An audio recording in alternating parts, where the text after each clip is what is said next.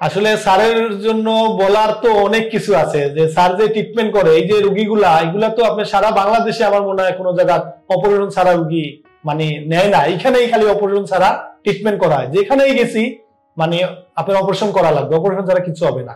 কিন্তু স্যার এখানে আশা, আশাবাদী সবেই। আরও অনেক অনেক রুগী আসছে আমি দেখছি যে খুব করুণ অবস্থা। কিন্তু তারা তারপরে ভর্তি হয়েছে ট্রিটমেন্ট চলতেছে, অনেক সুস্থ হয়েছে আর স্যারের কথা তো বলার মতো না। মানে প্রশংসা করার চেয়ে উপরে স্যার। আল্লাহ তার এনে খায়াত দুক।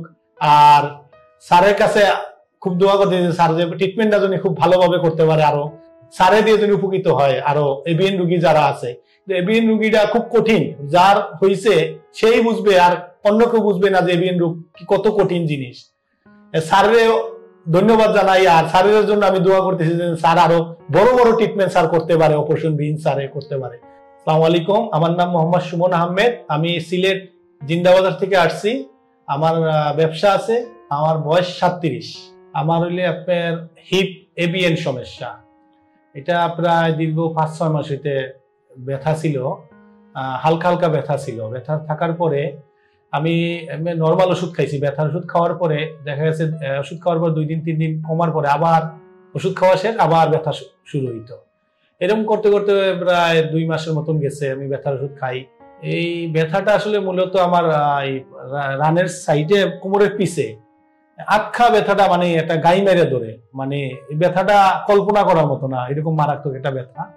মানে এমনি নর্মাল ব্যথার মতো না, এটা খুব মারাত্মক ব্যথা। আটকা আটকা এরকমই করে ওঠে। পরে তো আমি ডাক্তার দেখাইছি, সিলেটে অনেক চার পাঁচজন ডাক্তার দেখাইছি। তিন চারজনে ধরতে পারছে না ব্যাপারটা যে কি কি রোগ এটা। পরে অর্থোপেডিক ডাক্তার একজন নাম করা ডাক্তার দেখাইছি, এই ধরছে যে এটা এবিএন হিপ রিপ্লেসমেন্ট করা লাগবে। এই সমস্যাটার জন্য আসলে সমস্যাটা আমার মোটামুটি এখনও মারাত্মক কিছু হইছে না, কিন্তু স্বাভাবিক চলাফেরা করা- যাইতো না। তারপর হইলে ধরেন আমার ব্যবসা আছে, আমি দোকানে ঠিক মতন যাওয়া যায় না। আর ডাক্তাররা যেভাবে বলছে, এই হিসাবে আমি বা- বাসাতে একবার বেড রেস্টে গিয়েছিলাম মানে সারাদিনে বাসা থাকতাম, খুব বিরক্ত লাগতো। মানে আমি তো আসলে একটু চলাফেরার মানুষ, সেই হিসাবে খুব বিরক্ত লাগতো বাসা থাকাটা একদম মারাত্মক সমস্যা হইতো। আসলে অপারেশনের কথা যে সময় শুনছি, আসলে এই যে রোগটা, এটার নামও জীবনে শুনছি না। ধরা পড়ার পর যে শুনছি যে এটা এবিএন হিপ রিপ্লেসমেন্ট করা লাগবে। খুব ভয়ানক একটা জিনিস। আমরা ডাক্তারের বলার পরে বলছে যে অপারেশন করা লাগবে, দুইটাই করা লাগবে। ডাইনেটটা একটু বেশি আর বামেরটা একটু কম। দুইটাই করা লাগবে, যত তাড়াতাড়ি পারেন করতে হবে। নাইলে আরও সামনে আরও ক্ষতি হবে। দেখা গেছে পাওয়া দুই ইঞ্চি আরও ছোট হয়ে যাবে, এরকমও বলছে। খুব ভয়ভীতির মতো লাগছে। বলছে যে প্রায় সাড়ে সাত লাখ, আট লাখ টাকার মতো লাগবে অপারেশন করার জন্যই। একটা পুরো একটা আতঙ্কের মধ্যে ছিলাম এই অপারেশন কথা শোনার পরে যে আল্লাহর দেওয়া জিনিস বদলাই আবার একটা যে রিপ্লেসমেন্ট করে একটা যে অন্য জিনিস লাগাবে, এটা একটা অসম্ভব জিনিস মানে খুব কষ্টকর জিনিস। এই পর্যন্ত মিলে মনে হয় ছয় সাতজন ডাক্তার দেখাইছি, সবাই বলছে যে অপারেশন করা লাগবে। অপারেশন ছাড়া কিছু না অপারেশন করা লাগবে আর একজন ডাক্তার বলছিল যে, আপনি ওষুধ খান, ওষুধ খেলে হয়তো তিন, চার মাস বাদে দেখা যাবে, পরে আবার আইসা দেখাবেন। পরে তো আমরা আই নিছি যে ইন্ডিয়া দেখাই ইন্ডিয়ার জন্য আমার ফ্যামিলি সহ সবাই ভিসা করছি। জুন মাসের দশ তারিখ ছিল আমার চেন্নাই অ্যাপোলো হাসপাতালে অ্যাপয়েন্টমেন্ট পরে আপনাদের এই এইটা আমি পাইছি, ইউটিউবে পাইছি। আর যেদিন আমার ঘটনাটা আমি জানছি যে আমার এই এবিএন সমস্যাটা হয়েছে ওদিন থেকেই আমি ইউটিউবে সাজ দিয়ে দেখতেছি যে অপারেশন বিহীন কিছু আসেনি। ওদিন থেকে আমি পুরো প্রত্যেকদিন রাত্রে চার পাঁচ ঘণ্টা করে মানে খালি দেখলাম যে অপারেশন বিহীন কিছু আসেনি ট্রিটমেন্ট পরে দেখতে দেখতে দেখলাম যে আপনারটাই খালি দেখা যায় যে অপারেশন বিহীন, এনে- এখানে ট্রিটমেন্ট হয়। দেখলাম আরও বহুত রুগী আপনার এখান থেকে সুস্থ হয়ে গেছে। বহুত রুগী। মানে কল্পনার বাইরে। এই হিসাবে আমি আপনাদের এখানে একটা আশ্বাস নিয়ে আমি আসছি। আসার পরে স্যারে দেখাইলাম। দেখানোর পরে স্যারে বলল যে আচ্ছা আপনি আমার কয়টা পরীক্ষা দিচ্ছি এগুলো করান আর ভর্তি হয়ে যান। হয়তো দশ বারো দিনের মধ্যে আশা করা যায় আপনি সুস্থ হয়ে বাড়ি যেতে পারবেন।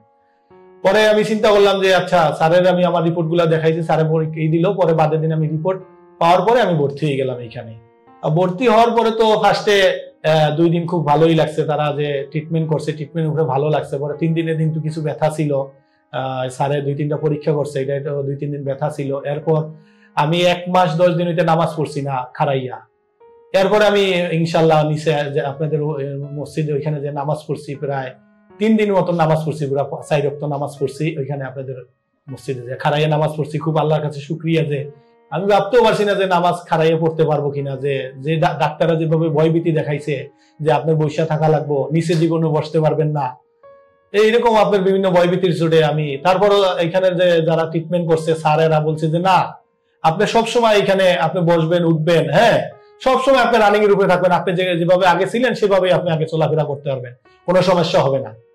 মুভমেন্টের অবস্থা ইনশাল্লাহ এখন খুবই ভালো খুবই ভালো মানে কল্পনার বাইরে। আমি মানে ভাবতেও পারছি না যে মুভমেন্ট হবে আমার, যে আমি চলাফেরা করতে পারব।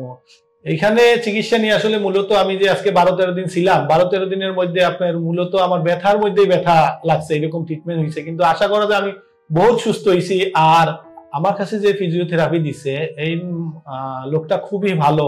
আর মানে কল্পনার বাইরে যে ফিজিওথেরাপি দিছে তিন বেলা যে ফিজিওথেরাপি দিছে তিন বেলা দেওয়ার পর আমার সার্বক্ষণিক মানে আমার পর্যবেক্ষণ করছে, আর থেরাপি গুলা দিছে, আর খুব ভালো, আর এটা কল্পনার মতন, বলার মতো না যে এত ভালো আপনাদের এখানে সার্ভিস। এরপর যে নার্স আছে, তারপরে আপনার এখানে যে বুয়া আছে খালা আছে মানে এভরিথিং যা সবই আছে, খুবই ভালো। মানে কল্পনার বাইরে, প্রত্যেকদিন এসে আমার কমপ্লেনের জন্য অপেক্ষা করতো সকালে, যে আপনার কোনো কমপ্লেন আসেনি স্যার। আমি বলতাম যে, না, আমি তো এখানে কমপ্লেন কিছু পাইতেছি না। আর কমপ্লেন নাই ওইখানে। প্রত্যেকদিন আসতো মানে মিস নাই, একদিনও মিস নাই যে কমপ্লেন ই করতো। কিন্তু কমপ্লেন এখানে আমি পাইছি না কোনো। বাড়িতে যাওয়ার পরে স্যারে বলছে যে আপনার একটা টাইম করে নিবেন যে সাঁতার কাটার জন্য, তারপরে যে ব্যায়ামগুলা শিখাই দিচ্ছে ব্যায়ামগুলা সার্বক্ষণিক করার জন্য, আর সাইকেল সাইকেলিং একটু গুরুত্ব দিচ্ছে সাইকেলিংটা করার জন্য বলছে। বাসায় যেহেতু, বাড়ির যেহেতু আমি, আমার স্বাভাবিক যে চলাফেরা ছিল, এরকম আমি চলার জন্য খুব আশা আশা আছে যে এরকম আমি আগে যেরকম চলাফেরা করছি, এরকম চলাফেরা করব। আমি আমার দোকানে যাব, আমি আমার ঘোরাফেরা করব। মানে স্বাভাবিক আগে যেরকম চলছে, এরকম চলার জন্য ইনশাল্লাহ চেষ্টা ইনশাল্লাহ করব। আসলে স্যারের জন্য বলার তো অনেক কিছু আছে, যে স্যার যে ট্রিটমেন্ট করে, এই যে রুগীগুলা, এগুলা তো আপনার সারা বাংলাদেশে আমার মনে হয় কোনো জায়গা অপারেশন ছাড়া রুগী মানে নেয় না। এখানেই খালি অপারেশন ছাড়া ট্রিটমেন্ট করা হয়। যেখানেই গেছি মানে আপনার অপারেশন করা লাগবে। অপারেশন ছাড়া কিছু হবে না। কিন্তু স্যারের এখানে আশা, আশাবাদী সবেই। আরও অনেক অনেক রুগী আসছে আমি দেখছি যে খুব করুণ অবস্থা, কিন্তু তারা তারপরে ভর্তি হয়েছে ট্রিটমেন্ট চলতেছে, অনেক সুস্থ হয়েছে আর স্যারের কথা তো বলার মতো না মানে প্রশংসা করার চেয়ে উপরে স্যার। আল্লাহ তার নেক হায়াত দুক। স্যারের কাছে খুব দোয়া করতে স্যার যে ট্রিটমেন্টটা যদি খুব ভালোভাবে করতে পারে আরও। আর স্যারে দিয়ে যদি উপকৃত হয় আরও এবিএন রুগী যারা আছে। এবিএন রুগীটা খুব কঠিন, যার হয়েছে সেই বুঝবে আর অন্য কেউ বুঝবে না যে এবিএন রোগ কত কঠিন জিনিস। স্যারের ধন্যবাদ জানাই, আর স্যারের জন্য আমি দোয়া করতেছি যে স্যার আরও বড় বড় ট্রিটমেন্ট স্যার করতে পারে অপারেশন বিহীন স্যারে করতে পারে। আমার জন্য আপনারা দোয়া করবেন যদি আমি সারা জীবনে সুস্থতা সুস্থতা থাকতে পারি। আর সবাই ভালো থাকবেন, সুস্থ থাকবেন। আর আসসালামু আলাইকুম। ডিপিয়ার্স লিমিটেড, আস্থা, বিশ্বাস ও নির্ভরতায় অবিচল।